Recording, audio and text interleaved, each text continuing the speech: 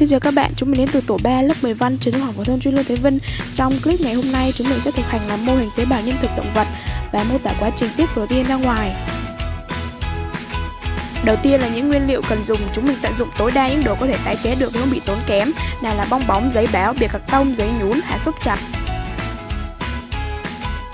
Đầu tiên, pha keo nhúng giấy, vô keo rồi đắp lên bóng, sau đó để khô. Khi giấy khô cứng thành hình dạng nhất định thì chúng mình đâm lủng bóng. Mình nhúng giấy vô keo nè. Sau đó chét lên bóng. Trong lúc chờ đợi bóng khô thì chúng mình bắt tay vô làm khung xương tế bào và trung thể. Ta-da, bóng khô rồi nè. Tiếp tục làm tăm nào.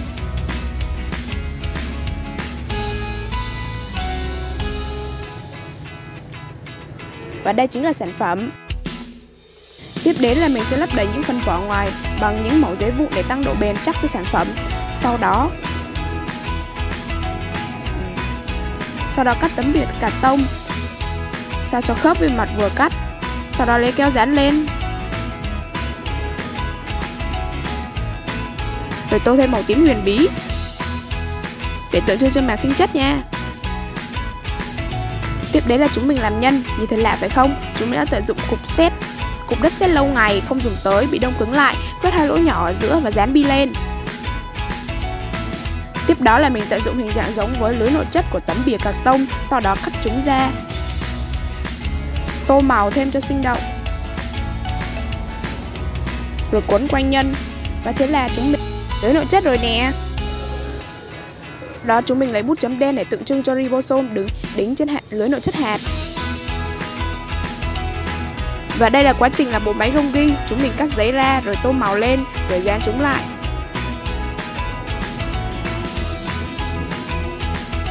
Như hình nè. Thật dễ phải không nào? Hạt đậu đen này chính là ribosome tự do đó. Củ lạc là ti thể. Tiếp tới là bộ phận không thể thiếu, đó chính là khung xương tế bào, sau khi khô keo thì dạng nhất định chúng mình gắn vô nha. Đây là trung thể hạt màu cam chính là lysosome, chỉ có ở tế bào động vật thôi.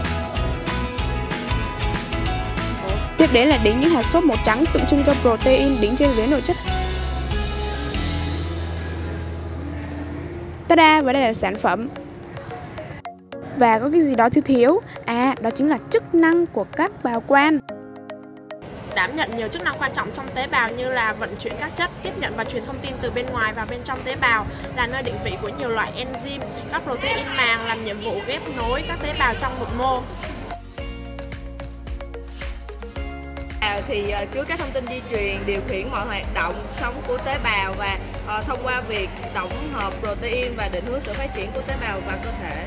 Tắt gọi là lưới nội chất. Lưới nội chất có chức năng là vận chuyển các chất trong tế bào và trong tế bào ra ngoài. Trong đó có lưới nội chất hạt là tổng hợp protein, tiết ra khỏi tế bào. Các protein cấu tạo màng tế bào và protein chứa các bào quan, chứa trong các bào quan. Còn đây là lưới nội chất trơn, tổng hợp lipid chuyển hóa đường và phân hủy chất độc đây là lysosome chỉ có ở tế bào động vật, phân hủy tế bào già, tế bào tổn, tế bào tổn thương, bào quan hết hạn sử dụng.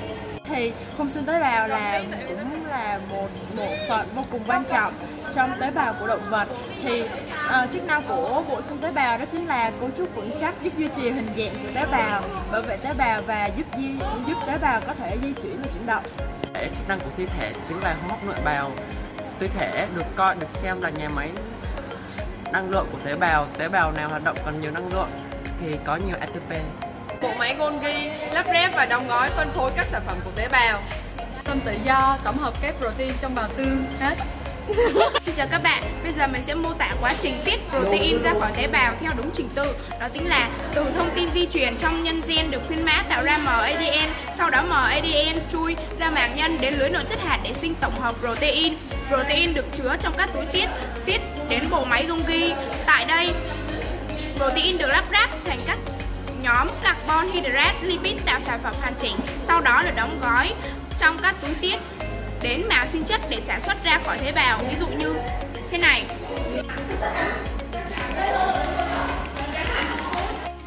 Ta kết thúc rồi. Cảm ơn các bạn đã đón xem. Hãy để lại bình, bình luận và góp ý cho bọn mình nhé. Và đừng quên like và đăng ký kênh của cô Hiếu dễ thương của tụi mình. Bye bye!